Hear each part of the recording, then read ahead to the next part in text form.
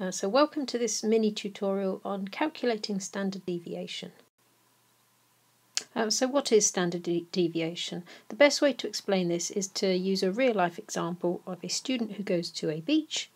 Uh, they go to the north end of the beach and collect 15 pebbles and they go to the south end of the beach and also collect 15 pebbles and they measure the a-axis of each one.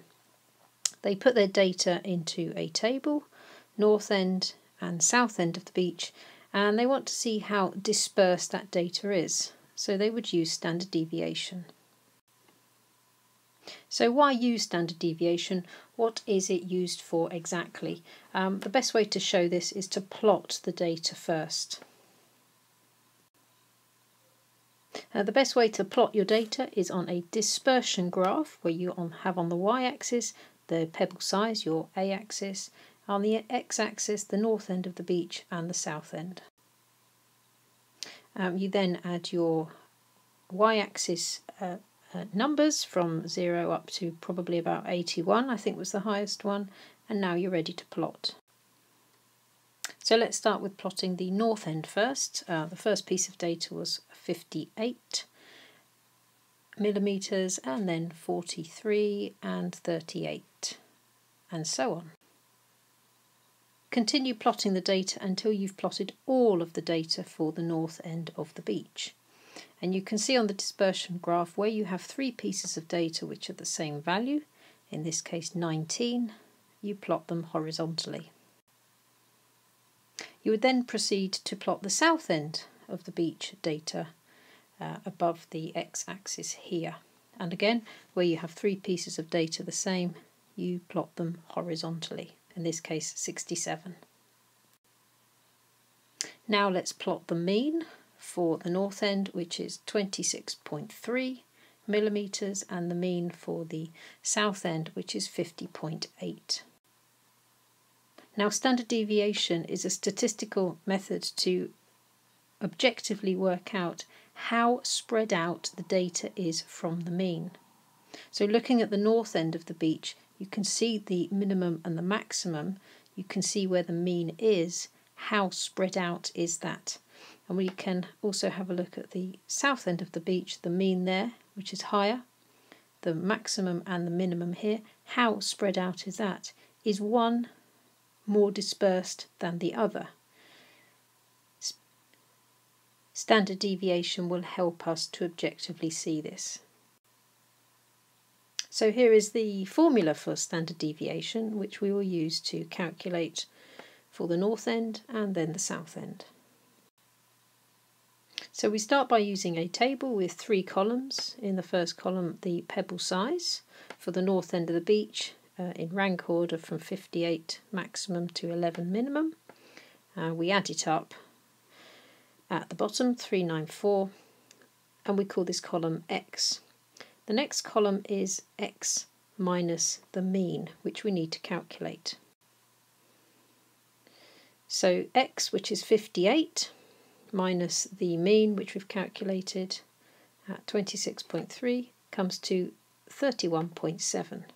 And we will proceed to calculate it for each of the x values here.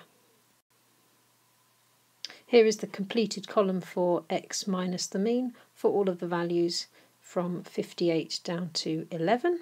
Uh, don't worry if you have a minus figure, that's perfectly normal. In the third column here we have x minus the mean and we need to square that to get rid of any negative values. So 31.7 times itself gives you 1004.89 and you would proceed to do this for each of the values. Here you can see that each of the values has been calculated for x minus the mean squared. And now you would need to add up that column. So once you've added up that column, you come to 2270.95. And this is what you need to calculate standard deviation. So now let's substitute our data into our formula to calculate standard deviation. So standard deviation equals, and we are now going to substitute our numbers in.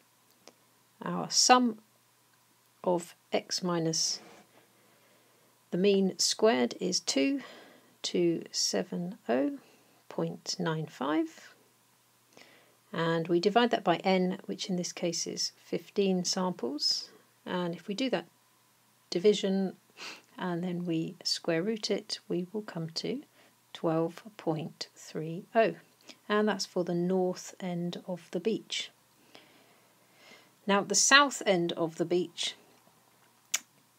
is bigger. Uh, it calculates as 22.88. So the standard deviation is much greater at the south end than the north end. But what does that mean? Well, in effect, it means that the pebble sizes in the south end of the beach have a greater dispersion around the mean, and the north end of the beach, the pebble sizes are much closer to the mean.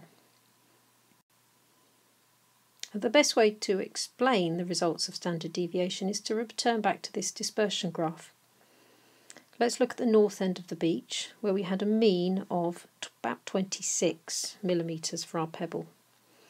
Standard deviation for the north end of the beach is 12.3 and that means that 68% of all of our data here in the north end lies within 12.3 of the mean.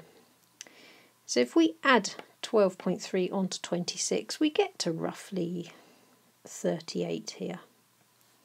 If we take away 12.3 from the mean, we get to roughly 14. And that means that 68% of all of our data for the north end lies within 12.3 of our mean. And you can see actually the data is quite clustered together. It's close to the mean. Now the south end of the beach is much greater, 22.8. Again, I've noted, noted where the mean is. It was 50, much larger.